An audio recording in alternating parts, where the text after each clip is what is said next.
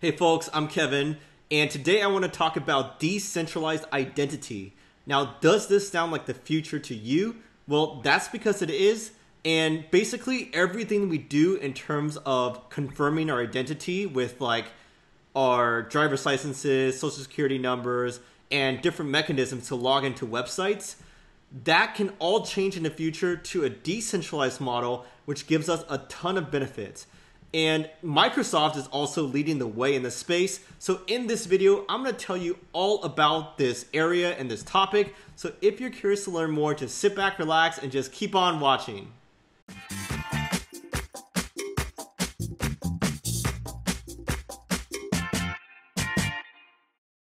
Okay, so first of all, what is decentralized identity, right?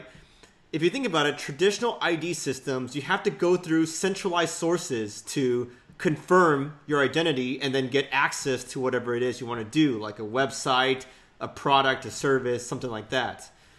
But decentralized ID systems, or DID, they put control of your personal information back into your own hands. So you are the one to decide and allow and manage when your info is shared, what, when, and with whom. And there's already several platforms actually working on this next step in terms of our identity infrastructure on the internet.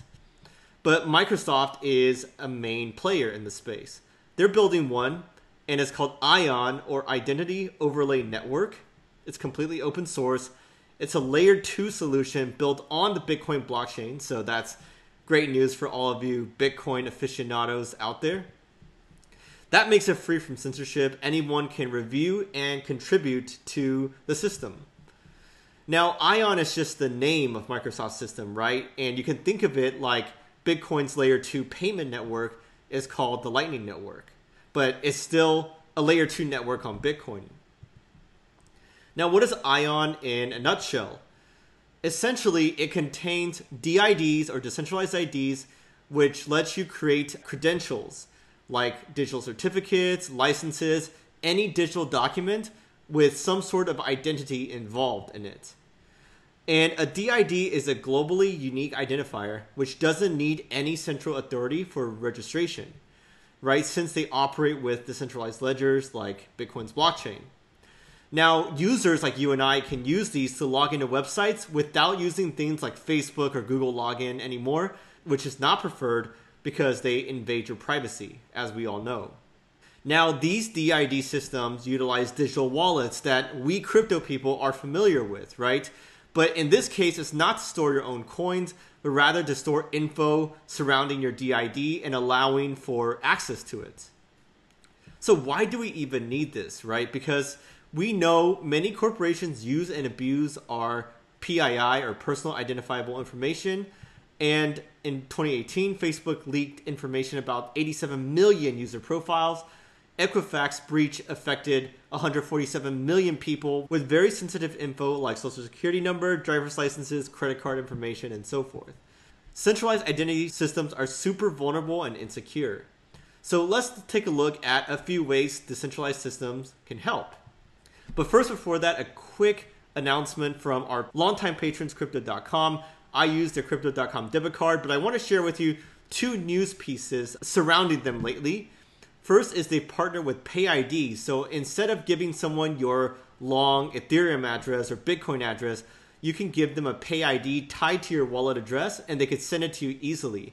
And there's millions of people that have a PayID already, so this makes it a lot more easy to use with this existing network. This is just like Venmo or Cash App, right? You can send it to your friends identifier number rather than their email or their bank code, for example. Next up is Crypto.com's exchange, which launched a beta in last November of 2019, has gone a lot of growth recently and built up to a more full functional and polished platform. Um, I'm just going to leave this here, but they have a revamped matching engine, much better performance and throughput, a REST and WebSocket API, redesigned architecture to improve scalability, security, latency, all things very important to traders who want something very solid and professional, and then just more availability and resilience as well. So definitely go check that out. They're not available to like US, Hong Kong, and China, I believe, but they are available to the rest of the world. So if you're looking for something and already use their debit cards, for example, then go check them out. Okay, so back to this DID benefits of these systems. First is the copies of it, right? Because if you lose your original copy, you can re- easily regain your ID. Centralized identity systems take a long time to recover from scratch. You have to call in, you have to visit in person, and wait for the mail, for example. And it could even cost a lot of money. So the underserved population, this could be really hard on them if they ever lose some ID source. But the DID system can issue duplicate ID proofs thanks to blockchain and other decentralized tech. So this is really helpful. And you can easily regain access if you lose the original copy.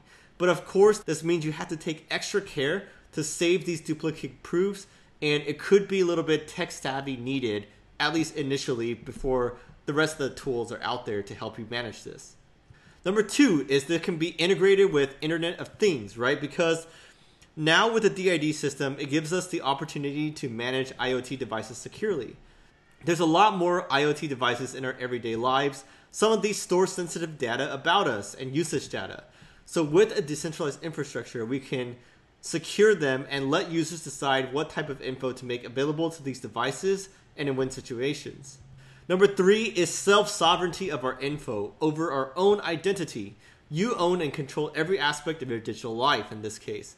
Services can view your personal info, but they can't alter it without your permission. Number four has to do with privacy and tracking, right?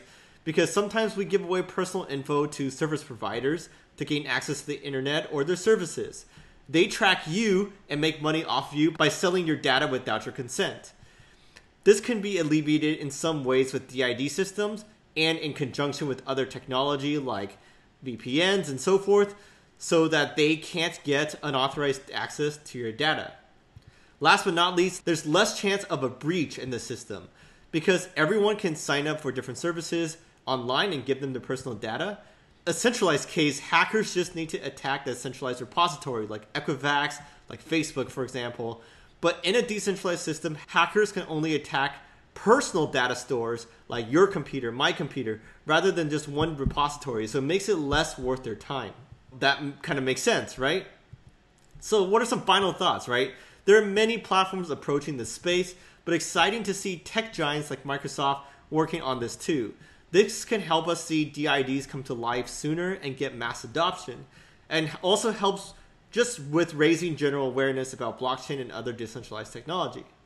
So thank you everyone for watching. What do you think about decentralized IDs? Do you like this more in-depth topic? Let me know what other topic you want me to dive into and I'll happily do so. As always, give me a like, subscribe down below if you haven't already, and why not check out these videos right here as well to catch more from our channel. This is Kevin. I hope you have an amazing rest of your day, and I'll catch you guys next time.